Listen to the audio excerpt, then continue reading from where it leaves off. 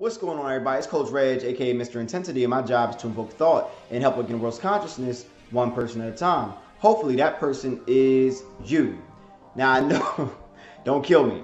I know what got you here is the thumbnail and the title.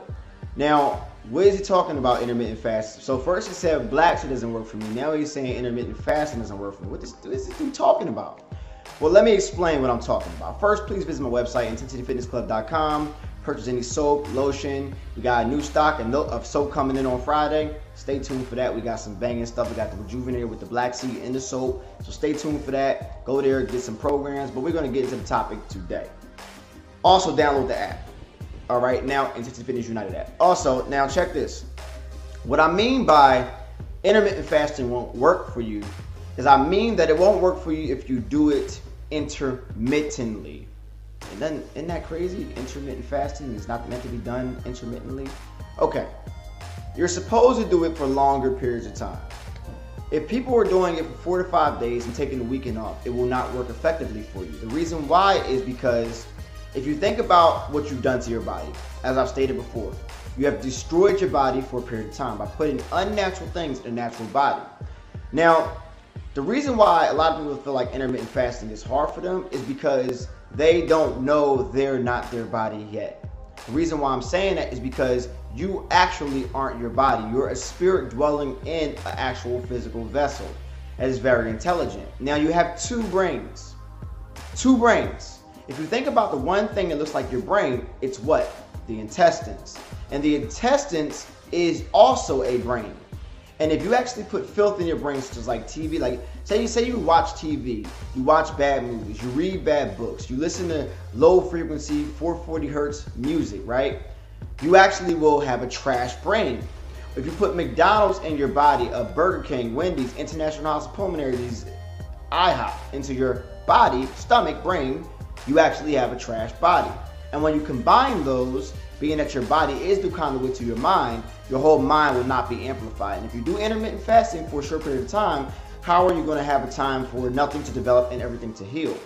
Now, the body is actually meant to heal for longer, extended periods of time, which is why they do fasting in all, damn near all religions when it comes down to it. I want you to understand this. You cannot do intermittent fasting for a short period of time whatsoever which is why every program that I have, I have been doing intermittent fasting for the entirety of the program because I understand the human body. I understand that we used to do fasting all the time. It just wasn't called fasting, it was a way of life. Now we actually do it for a short period of time, or some of us don't even do it at all. And the fastest way to actually heal your body, increase your brain power, amplify your immunity from everything is the way through intermittent fasting for a longer period. I'm talking about doing six months to a year.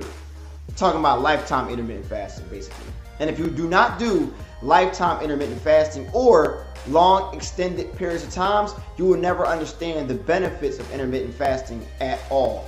Four days, three days off, it ain't gonna work for you.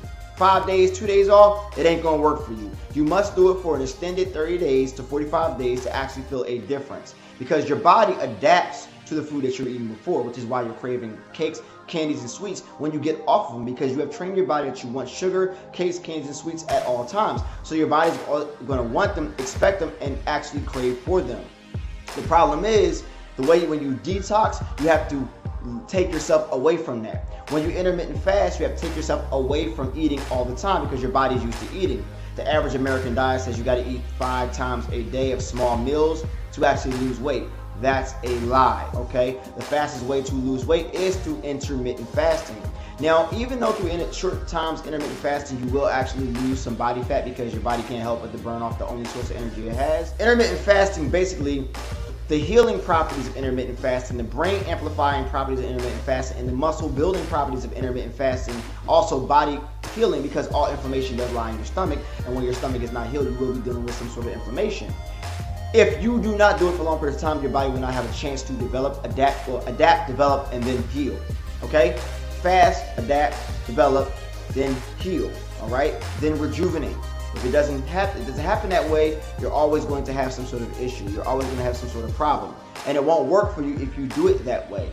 You have to shut the hell up. Tell, tell your inner self or your body that you're actually dwelling in to shut the hell up and actually give it what it actually really needs, not what it wants. You have to treat your body like a child. You have to raise it up, giving it what it needs so it can be the better version of itself, not giving it what it wants. Because if you're like a child giving your body candy all day, your child's teeth are gonna fall out, your child's gonna get fat, your child's gonna be on some next level messed up.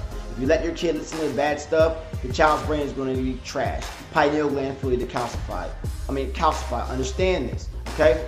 Just because you're in a car and your car needs gas does not mean you need gas. You are a spirit dwelling inside that body, which is why when you die, you leave that body and it's stiff. It has no more use. It has no user. So when you're actually having, you're like you're driving a car and you're on E, right? You're on E, and and you actually got to go to the store, to the gas station. You're not drinking that fluid. Your car needs that fluid. All right.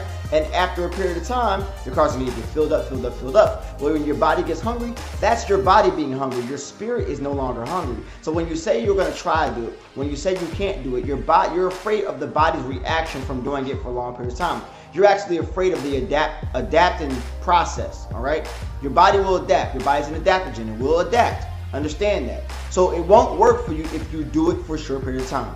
I'm sorry to tell you, I'm sorry to bust your bubble, but stop bullshit and, do what your body's already meant to do because you'll never be the better version of yourself in that way unless you do it that way for longer periods of time. All right? Sorry I hurt your feelings, but it is what it is. It's the truth. I am an expert on intermittent fasting. I have done it every way. I have done it clean. I have done it dirty. I have done it short. I have done it long. I have done it every once in a while. I have done it every single way. And I'm telling you, the only way it's worked for me, as far as my brain power, body power, every physical power, and spiritual power, to connection to myself, is through long term intermittent fasting. All right? So, besides that, this is Coach Reg, aka Mr. Intensity, and my job is to invoke thought and help with growth consciousness one person at a time. Hopefully, that person is